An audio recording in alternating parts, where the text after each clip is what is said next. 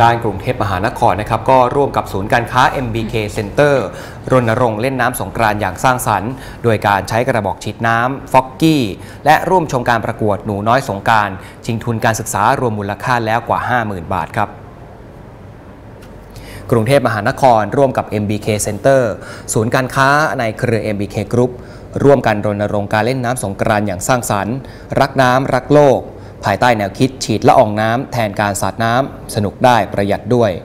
โดยแนวคิดของโครงการนี้จะเน้นให้เล่นน้ำสงกรานกันอย่างประหยัด และร่วมสืบสารประเพณีและวัฒนธรรมไทย ซึ่งวิธีการเล่นน้ำจะใช้กระบอกฉีดน้ำฟอกกี้ แทนการใช้ปืนฉีดน้ำซึ่งผู้ที่เข้าร่วมงานจะได้รับความสนุกสนาน กับกิจกรรมประเพณีไทยสุดคลาสสิก รวมไปถึงการจำหน่ายสินค้าและอาหารไทยกว่า 80 ร้านค้า ภายในงานนะครับยังมีขบวนกลองยาว การละเล่นมวยทะเล สาวน้อยตกน้ำการละเล่นปลาโป่งยิงปืนและวงดนตรี มาร่วมสร้างความคลึกคลื้น และเป็นการสืบสานประเพณีวัฒนธรรมไทย ให้ชาวต่างชาติได้ประทับใจในเอกลักษณ์และวัฒนธรรมไทยอีกด้วย นอกจากนี้ครับในงานนี้เนี่ยยังสามารถจะกระทบไหลนักแสดงชื่อดังจากช่องเจ็ดสี ที่จะมาร่วมกิจกรรมในวันพุธที่ 13 เมษายนนี้ ตั้งแต่เวลา 12 นาฬิกาเป็นต้นไปนะครับก็จะพบกับมิกทองระยะ แคสเซฟานีแบงค์อาทิตย์ และน้ำหวานกันนาภากันนาพรและในวันพฤหัสบดีที่ 14 เมษายน เวลาตั้งแต่ 12 นาฬิกาเป็นต้นไปครับ พบกับนักแสดงชื่อดังอย่างบูมกิจก้อง มีปรัดนะครับ คุณตูนพิมพ์ปวี คุณพลอยรันดาภานะครับณลาน MBK Avenue โซน A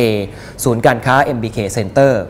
ขณะเดียวกันครับยังได้รับเกียรติจากท่านผู้ว่าราชการกรุงเทพมหานคร หม่อมราชวงศ์สุขุมพันธ์บริพัตรเป็นประธานเปิดการประกวดหนูน้อยสงกรานต์ประจำปี 2559 ชิงเงินรางวัลทุนการศึกษารวมมูลค่ากว่า 50,000 บาทด้วย ทั้งนี้ครับขอเชิญชวนน้อง ๆ หนู ๆ ทั้งชายและหญิง อายุตั้งแต่ 6 ถึง 10 ปี มาใช้เวลาว่างให้เกิดประโยชน์นะครับด้วยการแสดงความน่ารักสดใสเชิงสร้างสรรค์ ในการประกวดหนูน้อยสงกรานในงาน MBK Center สงการเดย์ฟ็อกกี้ฟันนี่ในวันที่ 13 เมษายน ณ ลาน MBK Avenue ศูนย์การค้า MBK Center ครับ แน่นอนนะคะเทศกาลสงกรานต์ถือว่าเป็นอีกหนึ่งเทศกาลแห่งความสุขค่ะที่ทั้งคนไทยและคนต่างชาติจะได้ร่วมกันเฉลิมฉลองวันขึ้นปีใหม่ของไทยนะคะ โดยมีวัฒนธรรมประเพณีอันดีงามที่สืบสานกันมาอย่างยาวนานค่ะ แต่ว่ายุคสมัยเปลี่ยนไปนะคะ ก็เลยทำให้เทศกาลสงกรานต์เริ่มมีการปรับเปลี่ยนกันไปตามยุคตามสมัย การเปลี่ยนแปลงที่เกิดขึ้นเป็นอย่างไรนะคะ ติดตามจากรายงานพิเศษของทีมข่าวเมโทรทีวีค่ะ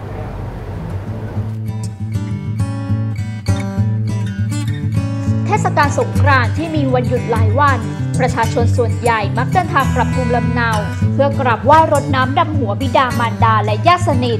ขณะที่หลายครอบครัวใช้โอกาสนี้เดินทางไปท่องเที่ยวจังหวัดต่างๆ ท่ามกลางการจราจรอันคับข้าง ทั้งบนเส้นทางถนนสายหลัก สายรอง รวมถึงทางเลี่ยงทางลัด ซึ่งผู้ขับขี่ที่ใช้รถใช้ถนนต้องใช้ความระมัดระวังเป็นพิเศษขับขี่ด้วยความปลอดภัย ไม่ประมาทเคารพกฎจราจร ไม่ใช้ความเร็วเกินกว่าที่กฎหมายกำหนด และที่สำคัญคือการเมาไม่ขับ ด้วยเหตุนี้หน่วยงานภาครัฐจึงได้ออกมาตรการที่เข้มงวด พร้อมรณรงค์กระตุ้นจิตสำนึกผู้ใช้รถใช้ถนนให้เกิดการปรับเปลี่ยนพฤติกรรมการขับขี่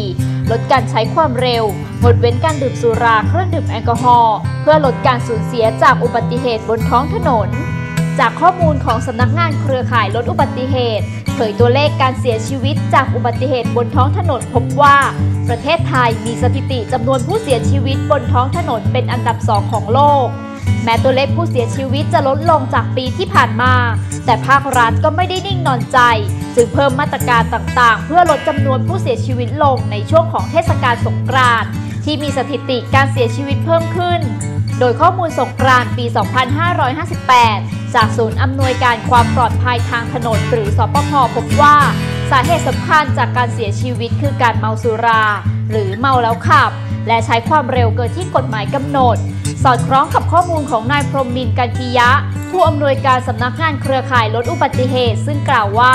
การขับรถเร็วเกินกฎหมายกำหนด ได้สร้างความสูญเสียต่อชีวิตและทรัพย์สิน เป็นปัญหาที่รัฐต้องรีบจัดการ ควบคุมกำกับดูแลเรื่องความเร็วให้เป็นไปตามที่กฎหมายกำหนด รวมทั้งมีมาตรการการแก้ไขปัญหาที่ถูกต้องตามหลักวิชาการ กระตุ้นจิตสำนึกผู้ใช้รถใช้ถนนให้เกิดการปรับเปลี่ยนพฤติกรรมการขับขี่ ลดการใช้ความเร็ว งดเว้นการดื่ม ประชาสัมพันธ์ไปยังสื่อต่างๆ กระจายข้อมูลข่าวสารไปสู่กลุ่มเป้าหมาย ชุมชน หมู่บ้าน รวมทั้งกระตุ้นให้มีการตั้งด่านภายในชุมชนเฝ้าระวังป้องกันโดยเฉพาะกลุ่มเสี่ยง เพื่อลดการสูญเสียให้ได้มากที่สุด จากนี้มาตรการควบคุมและสกัดกั้นที่ได้ผลที่สุด คือการตั้งด่านชุมชน จุดตรวจหรือจุดสกัดบนถนนชุมชน เพื่อสกัดกลุ่มเสี่ยงและลดพฤติกรรมเสี่ยงของการเกิดอุบัติเหตุ เป็นการป้องปรามควบคุมการดื่มเครื่องดื่มแอลกอฮอล์การขับรถเร็ว ไม่สวมหมวกนิรภัย และวินัยจราจรต่างๆรวมไปถึงประกาศกำหนดพื้นที่เล่นน้ำปลอดภัยและปลอดเครื่องดื่มแอลกอฮอล์ทุกชนิด ซึ่งได้มีประกาศสำนักนายกรัฐมนตรีเรื่องกำหนดสถานที่หรือบริเวณห้ามขายเครื่องดื่มแอลกอฮอล์บนถนน ไหลทางและทางเท้า หากฝ่าฝืนมีโทษจำคุกไม่เกิน 6 เดือน หรือปรับไม่เกิน 10,000 บาท รวมทั้งกฎหมายการปฏิเสธการเป่าเท่ากับเมาแล้วขับ มีโทษปรับ 10,000ถึง20,000 บาท และจำคุกไม่เกิน 1 ปี หรือทั้งจำทั้งปรับ ทั้งหมดนี้เป็นมาตรการที่ออกมาป้องกัน เพื่อให้การเล่นสงกรานต์เป็นสงกรานต์ที่มีความสุข ลดการสูญเสียในชีวิตและทรัพย์สิน แต่อย่างไรก็ตามประชาชนต้องมีส่วนร่วมในการสร้างจิตสำนึก ลดความสูญเสียที่จะเกิดขึ้น ทีมข่าวเมโทรทีวี รายงาน